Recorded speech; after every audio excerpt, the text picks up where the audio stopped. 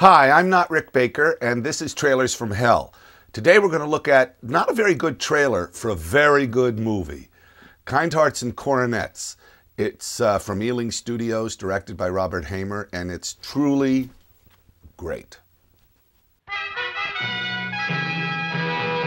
Kind Hearts and Coronets is one of the truly great British films. It comes from the fantastic Ealing Studios. It's part of a series of films, although this one I think really is unique. It's so dark. It is the darkest, blackest comedy about sex and murder and especially class. It's very British. Dennis Price is superb. It's really just a delightful film. The women in it, Valerie Hobson and Joan Greenwood, are so sexy. The whole thing is like rich chocolate it's it's delightful, and I love it because it's about killing people. It's it's just a really unusual and truly elegant film. Uh, Valerie Hobson and Joan Greenwood doing their best for British womanhood.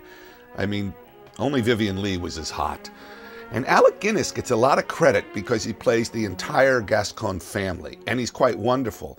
But for me, Dennis Price, and especially a bit player named Miles Malleson as the executioner, who's thrilled to be executing a royal. He says, I, have never had the privilege of hanging a duke.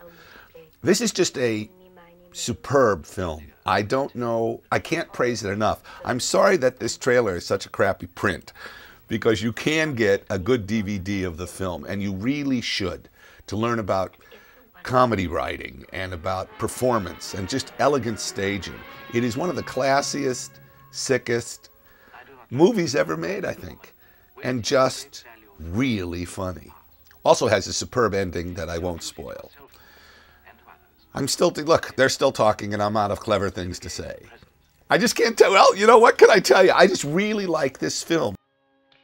Michael Balcon was the producer at Ealing, they made a whole run of just great, great films, great comedies. And this one, for me, I mean, they're all great, but this one is really the most sexy. sexy in that the story is sexy, the women are sexy, sexy in that it's so damn naughty. It really is. I mean, listen to this dialogue. When I've finished, I shall kill you. You will be the sixth D'Ascoyne that I've killed. It's clear that you are insane. Give me that gun at once. No. From here, I think the wound should look consistent with the story that I shall tell. And believe it or not, in context of the movie, it's not only horrific, it's very funny. This is about justifiable homicide.